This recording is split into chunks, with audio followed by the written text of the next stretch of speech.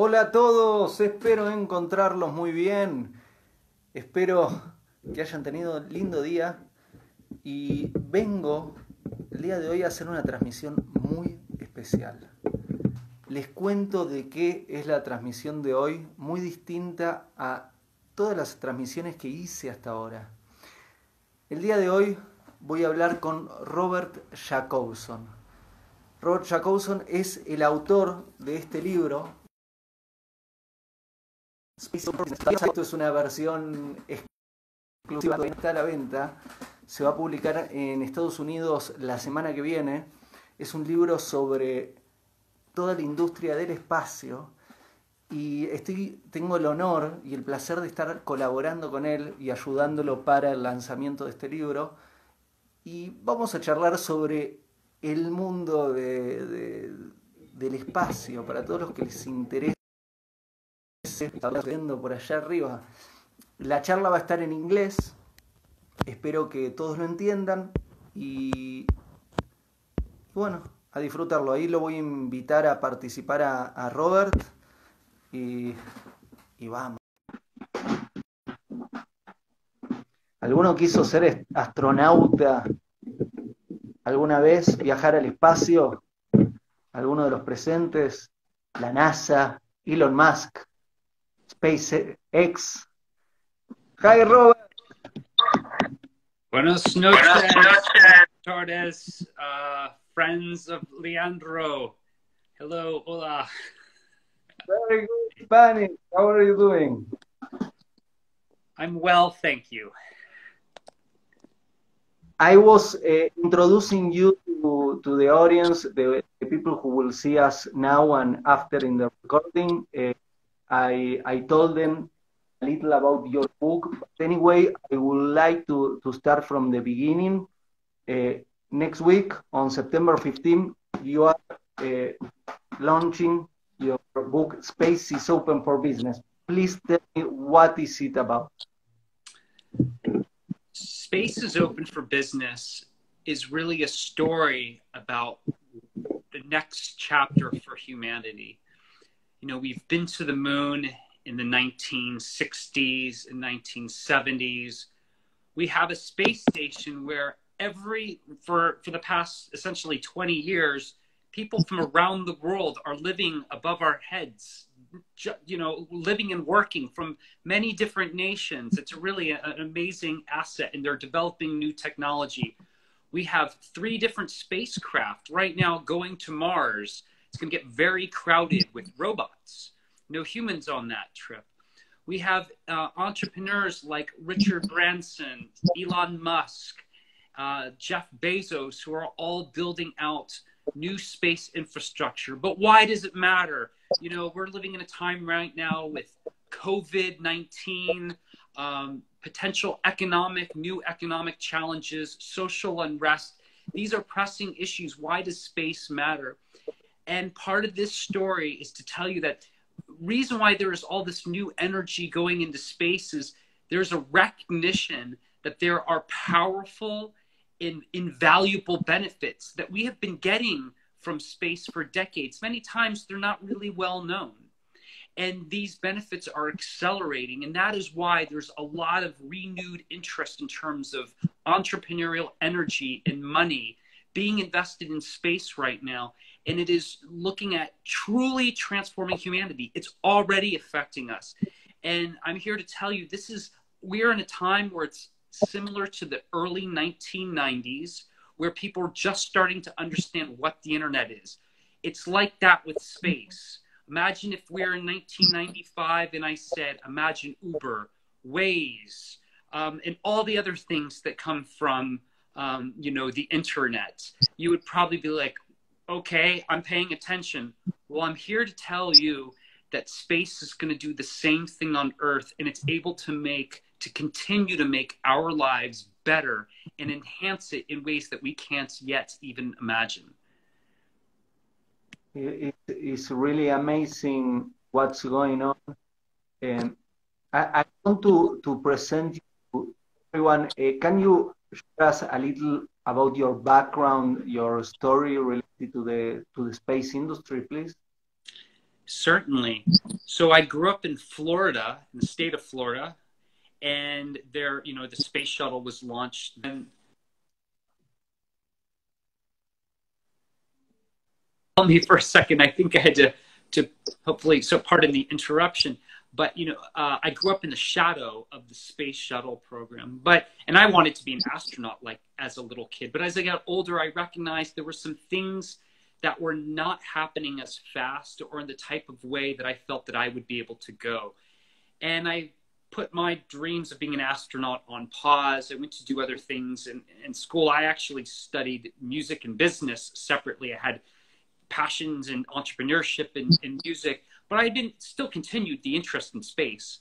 And then in uh, uh, June 2004, I went to the Mojave, uh, Mojave California, where there's an airport that was well known for testing aircraft. And near there was where they broke the sound, where um, Chuck Yeager broke the sound barrier, and many other aviation records were set. And I was an eyewitness with a friend of mine and thousands of other people to see the first privately funded flight to space. It was funded by um, the late Paul Allen, who was one of the co founders of Microsoft. He was very interested in aerospace, and the vehicle was designed by Burt Rutan, who had built the Voyager aircraft in the 80s. That was the first aircraft to fly around the world unrefueled.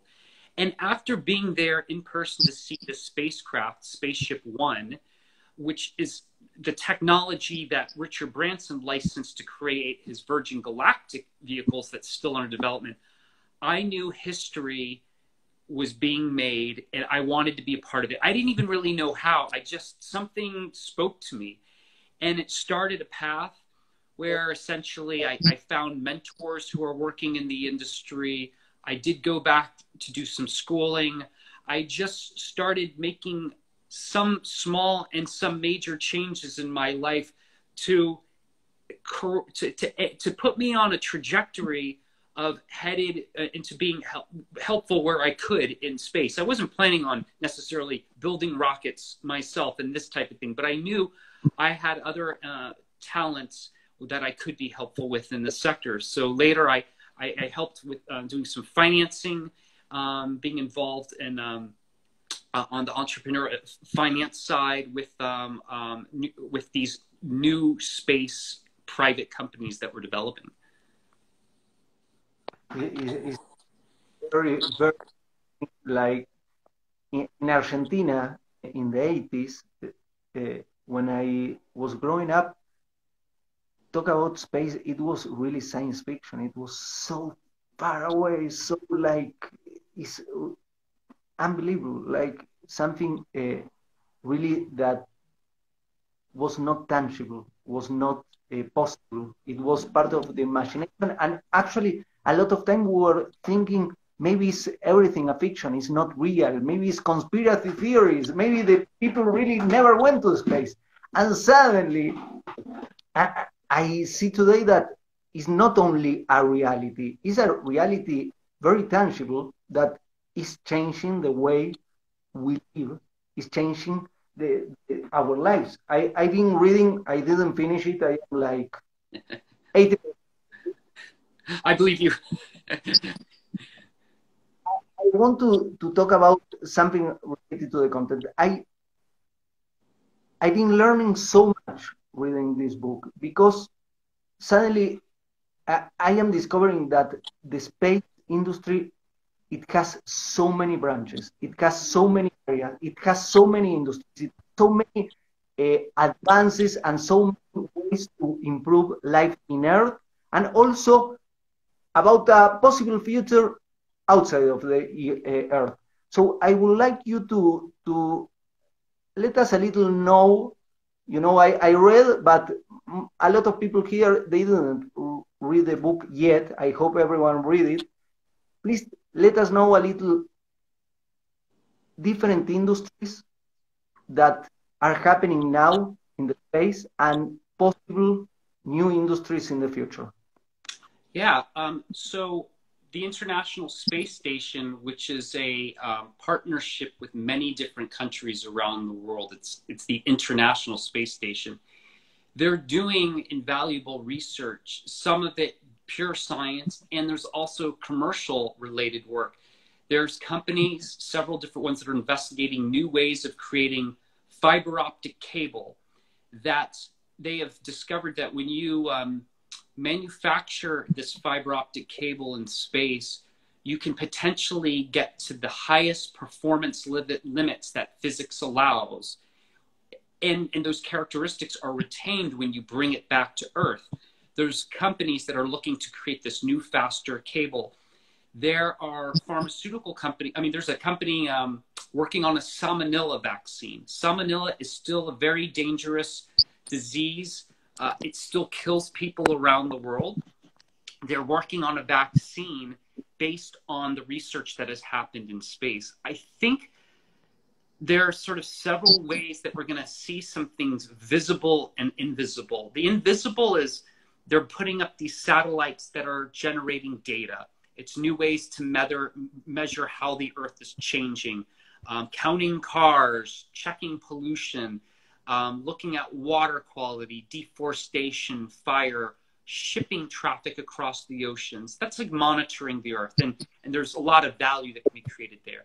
But then there's things that we're going to be continually discovered that how to use the environments of space because of the temperature, the lack of gravity, and there is, um, you know, it's the still early pioneering days of, of creating new products in the in the space environment that we can use here on Earth. So I think you'll see things in um, potentially computing, new materials, and uh, pharmaceuticals. And there's even some early work going on right now on regenerative medicine. Think think about developing new organs. So literally being able to print new organs because in in, in space, uh, or you don't have you, you don't have the issue with gravity and sometimes they, I guess they've had issues when they've been building up tissue. They're dealing with the weight of as they're building the tissue. Well, when they're in, space, you know, in, in a microgravity environment, you don't have that issue. So these things are really powerful already. If you've had, um, if you know someone who's had laser eye surgery, the instruments I think to keep the laser still or keep or to track your eye came from the space program. There's literally thousands of different spin-off technologies that that have come in some way from um, our use of, uh, of space. Actually, what you is really amazing. I discovered that reading your book. I want to look drawings about discoverings. I, I, didn't know that all uh, advances they came from space. Uh, do you have do you remember by heart to share with everyone some of the here? No, is this one? No. I think there you're, you're referring to maybe where there are some um, uh, digital processing of images. There was some work done back in the 60s. So think MRIs and CTs.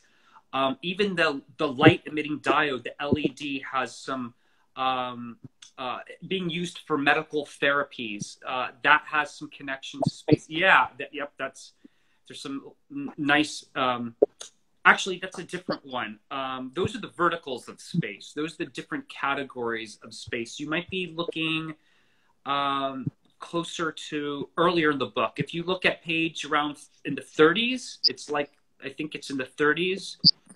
Um, wireless headsets, um, infrared um, thermometers for the for the mouth. I think had origins yeah. with space. Yeah, smoke detectors, artificial, yeah, um, uh, water purification, air purification. There's just so many. Uh, it's just really amazing. And there's a magazine. Uh, sorry, sorry, I interrupt you. This is yeah. like let's let's talk about the the number five. Number oh, yeah, five. That's the, that's the, one in the ear. I think that's the one where they put the um, they they put the scope, the instrument in your ear, to take your temperature. Yeah. You know, I mean, look, because look, they they when you have like say astronauts or humans in a faraway place and you need to diagnose them, you can't have maybe um, liquid the old thermometers that had mercury in them. There are a lot of you know a lot of things we took for granted that are easy here on Earth you couldn't do in space. So a lot of things like diagnose, di- you know, when you're trying to diagnose a, human that's up in space, you have to get creative and come up with new ways, new ways of doing it. Um, you know, there's issues with, yeah, wireless headphones. We all, um, yeah, important. And a lot of this early work has has connections related to uh, to space, um, and hopefully, just so that because I'm kind of the, the English speaker here, do, uh, you, do you want to do you need to summarize some things in, in Spanish because I want to make sure I don't want to uh, alienate anybody who is um, maybe who, who, who doesn't speak English because you don't want to hear me speak Spanish. I will mention. Let me let me let me share with the guys uh, what you have uh, about. Ok, les cuento un poquito lo que Robert nos estuvo contando, que me parece es impresionante. Robert escribió este libro, se llama Spaces Open for Business, donde explica las distintas industrias relacionadas al mundo espacial que hay ahora, la historia de cómo llegamos a, la situación actual y el posible futuro de hacia dónde van estas industrias. Es impresionante, digamos, todavía me falta terminarlo, voy por acá, pero es impresionante la cantidad de industrias que hoy nosotros utilizamos, la cantidad de eh, por ejemplo, recién les hablaba de los auriculares. Los headphones eh, inalámbricos son un invento también del espacio. Hay muchísimas industrias que vienen de, los avances de la industria del espacio que nosotros hoy disfrutamos de los beneficios sin saber que vienen de ahí. Me parece que es muy interesante, que tiene mucho para, hay mucho para aprender desde, desde el conocimiento general y desde el lado empresarial, esto también es algo muy interesante, que es que se está viendo una industria nueva, que ahora no es necesariamente una industria exclusiva para gobiernos y no es necesariamente una industria exclusiva para billonarios o trillonarios. Es una industria que pueden entrar eh, personas que, no están en, en, ese nivel tan, tan, tan alto de poder económico. Es una industria que está abriendo las puertas, se está abriendo las puertas al mundo entero y que Robert nos decía al principio de la charla que es la revolución que generó el Internet. Los que venimos de 80 para atrás saben lo que era el mundo antes del Internet y toda revolucionó nuestras vidas, todas las industrias, la aparición de Internet. Lo mismo creemos que podría lograr toda la industria que se está desarrollando en relación al espacio. Robert, next question. Something, there is something really amazing in this book, which is the amount of endorsement, the amount of of really amazing people who is uh, becoming part of your book, that is sharing their knowledge uh, for you and for all of us through the book. Can you mention some of uh, these these persons? Um, yeah, hopefully um, I can do some honor of. Um, let me think so there's uh, Lori Garver, who is the former deputy administrator of NASA. That's basically she was like the second. She's almost like the second in command, and um, she was great and, and, gave a really nice endorsement. And, and, and, essentially, for those who are new authors or thinking about writing, how I did it was um, I put together a list of of people. Some people I knew, some people that I didn't, and some people that were like really famous and and as I got like a decent manuscript, once the you know I had a few drafts in, um, I essentially reached out to people, and and I got a lot of people who didn't write back. So it's you know it took a lot of uh, knocking on doors, emails, and and and and then people started you know saying yes and, and it's just the universe works that way if you have a positive intention and you're just you keep pushing and putting you know, persistent and polite. Um, so there was Lori Garver, um, another uh, early friend who, uh, early supporter, excuse me, was Shelley Brunswick, who runs the, uh, she's the chief operating officer of the Space Foundation. It's a, it's a large nonprofit that's um, advocates space issues, and they put out a great publication on the technologies that get commercialized from space. Um, if some people might be familiar with the investment publication, The Motley Fool, there's a um, the guy who covers space. Their space analyst is a, a, person named Rich Smith. He gave a nice endorsement. Um, there's uh, Howard Bloom, um, who's a, a, who's a, both a personal friend and and, and he's a, great author. Um, he he uh, gave me an endorsement, and we actually spoke earlier today. So it was really just about kind of persistence and in planning. And I'm glad I did some of this over several years. This did not happen overnight. it is really amazing. Les voy a, I, I will share with, sure. with the guys in so, some of uh, these names. El libro de Robert tiene participaciones de eh, equipos de la NASA, Space Foundation, The Monthly Fool, Life Ship, Investor Business Day.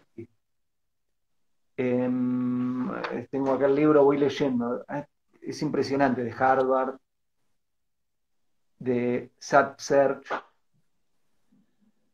de la Fuerza Aérea de Estados Unidos, del estudio del Instituto de Estudios del Espacio, realmente del Departamento de Comercio de Estados Unidos. Impresionante. Eh, muchísimas personas muy, muy talentosas eh, se sumaron al libro de Robert y dijeron, sí, eh, yo estoy acá, quiero ayudar y, hacer que, este libro sume y, ayude a todos. Realmente es un libro para los que les interesa aprender sobre el espacio, para los que les interesa aprender sobre la relación del mundo, el mundo en el que vivimos hoy, con la industria que se está dando en el espacio, les recomiendo, les recomiendo mucho leer el libro. I, I was sharing. How is your Spanish, Robert? Do you understand something? I understand some of it, un poquito. I got some of it. I was talking uh, a little about uh, the, the story of the book and, and the content. I think I, I think is really amazing what you did. I think that because it is still a new industry because it's, it's old, but we are not talking about an industry of 200, 300, 500 years. It's, it's, it's an industry of the last century. And uh, because of that, your book has the power to put together a lot of information which is all out there, you know, about the how to build uh, satellites, how to build uh, rockets, how the laboratories, the uh, International Space Station, the investors in planet Earth uh, trying to deal with this, the venture capital, etc. And you you did a great job putting together all these pieces of information, information, all this is like a big puzzle, and you put together all these uh, pieces of information. So someone like me, someone absolutely new, who doesn't know about the space industry, who only saw it in, in science fiction movies and read a little, suddenly I know many of the pieces that conform the actual space industry. It's a really an amazing job. Well, thank you. It, it, took it, you know, it took a lot of time, and some of this had been just from working in and being around this area for many years, and ideas and things take time to percolate, and then you write and change things. And and early on, I had this big lumpy manuscript, and then someone said you need an editor and that was like an amazing that was like ah that's what you know an you know an editor vanessa who rocks she helped you know uh, becomes really you know you're you, you know having a good editor is like like a partner um, because there's a lot of cutting and you have to be humble and realizing you can't include everything, especially when you're trying to take something that looks like a, a very messy puzzle board and sharing a complicated story. I also interwove into the book interviews. As I was writing, this is I don't know how if this is a traditional way of doing things. I kind of had two parallel activities. I was writing and I was also interviewing people. And I was figuring how do I can how do I integrate the two? Eventually we took um, quotations from the interviews and embedded them in the manuscript. And one of the first interviews that I did um, is actually somebody from South America uh, that I went to the International Space Universe with. There's an engineer named Camilo Andres Reyes. Reyes. Reyes. It's R E Y E S. I don't know how if that's Reyes or Ray, but he's yeah, he's a good friend of mine, and we met in Israel um, at the International Space University that we were both at at a program in Haifa, Israel. And um, I think I still have a recording of us sitting in outside of a cafe having a really fun conversation and him telling me about what was going on um, in because uh, he works with the Colombian Space Agency and some of the trends going on in, in South America. I think he's currently a graduate student in Germany, um, but we do keep in touch. And that's just a it's just something kind of a fun trivia that one of my first interviews just it was like I didn't know we, I just turned on my phone and started recording and we just started talking. it's, it's, it's really great what you what you did. Uh, I, I think it's a it's a powerful book. I think it's a powerful book. I'm enjoying it very much. I hope to finish it. I hope to finish it before the book launch is in six days, right? That's correct. Yeah. The, so I, I, I hope before the, the end of the countdown, I can say that I, I finished the book. It's a, it's a great piece of art, what you did, a great piece of engineering, a book engineering, what you did is, is, is great compilation. Thank you. You know, so I would say a good takeaway for people listening and watching today is, you know, um, the use of space has never been easier. It was typically very difficult. You used to not even be able to get the price of a rocket launch.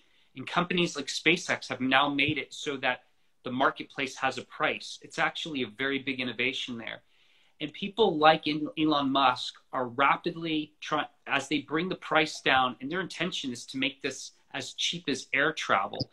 And if you think about if you can make accessing space inexpensive, then things like you know doing sports in space or creating pharmaceuticals or whatever your imagination allows becomes a lot easier because accessing space used to be so difficult and expensive but as this becomes easier and less expensive we'll be able to you know utilize space for i mean it's it's only limited be limited by our imagination absolutely agree. It's, it's, uh, in one conversation uh, some time ago, you you revealed something to me that I was like, wow, like today the human being is able to not only astronauts, like there, is, there are commercial flights to the space. A person can go to space. Yeah. now it's not a kind of miracle. it's something. It's something yeah, I mean, it's still right now the cost to go to say the space station is is expensive. You know, tens of millions of U.S. dollars, but yeah. it has the possibility very soon to come down very rapidly. And the thing, one of the things for people to keep just just hear the word is is SpaceX is building this new spacecraft called the Starship, and Elon's not, you know, he's doing these little tests they're not flying to space at the moment. They're kind of doing a little hop up and they come down. They go up, you know, a few hundred meters. But what's what he is working on right now and spending more time on is the production of these. He's thinking in him and his team the system so they can build dozens and then hundreds of these so that you can get scale and bring the price down and that's that's that's going to be a really amazing that's that's going to be a, a really powerful thing because this starship is going to be able to take people to the moon. It's going to be able to um, take up large pieces of infrastructure that you maybe need to take to Earth up into space, go to Mars. It's going to be able to ha- be a habitat for people to to live in for periods of time. So it's going to have um, many different uses. Eh, in, in some moment of your book, you mention, if I remember well, that Virgin Galactic uh, is developing one type of this like uh, low cost kind of cost uh, at hundred and fifty thousand dollars, like uh, a big group of people going to the. I, I was learning there are different altitudes, like, really. Yes, and and they are able to go to to the small one. Yeah, they're looking to go to start at about a hundred kilometers above sea level, and that's about the edge of space. And they'll come up with with Richard Branson and his investors. The the company's called Virgin Galactic. It's now a publicly traded stock that people can buy shares in. So their plan is to take, you know, I think it's a, you know, a pilot and a co-pilot, and then I think it's like a half of like six passengers, and or they can take experiments. But let's just say six passengers up to the edge of space for a few minutes, five ten minutes, and then they come back down.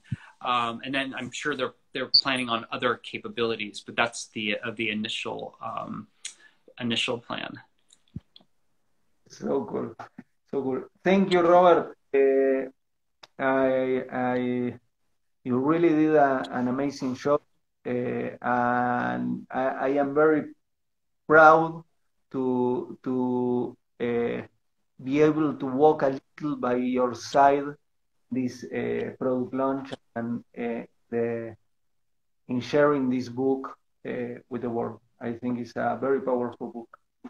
Thank you, Leandro. Muchas gracias, and I wish all of your uh, your uh, viewers well in uh, these extraordinary times we live in, and and and I welcome them to um, to pick up a copy of my book, and and they can go to spaceisopenforbusiness.com, and we've got a nice website that's that we've established there that's going to have all sorts of stuff free stuff bonuses the books. We're making a bunch of books um, excuse me bonuses available for those who buy the book directly from me supporting an independent an independent author and platform.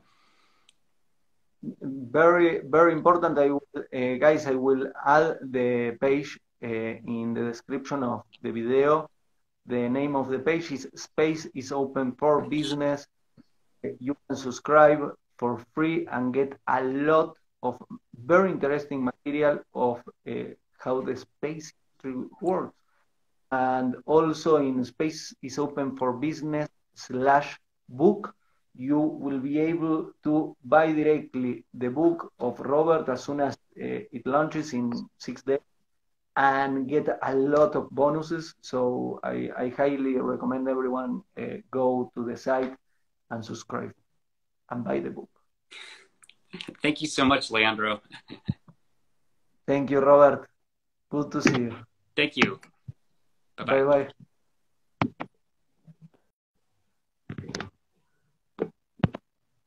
Bueno, ahí se fue Robert. Espero que hayan disfrutado de la conversación distinta, especial, muy interesante. El libro Space is Open for Business de Robert Jacobson. Qué lindo que es aprender, ¿no? Qué bueno que está estudiar y aprender y descubrir más de cómo funciona este mundo en el que vivimos. Qué bueno que está. Bueno, que tengas buenas noches y nos vemos en el próximo video.